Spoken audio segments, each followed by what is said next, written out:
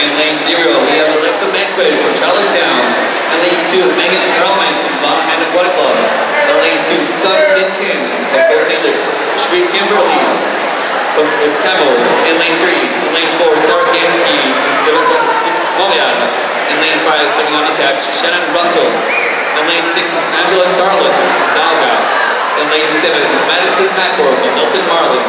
Letter eight, Marie-Jeanne Landy, the Camel. In lane nine, from Willville Trident, Ava Vital. Medal presentation for the women's 13 to 15 years old, Audrey Presto. Your bronze medalist from Madeline Spencer. Your silver medalist from Soul Search Aquatic Team,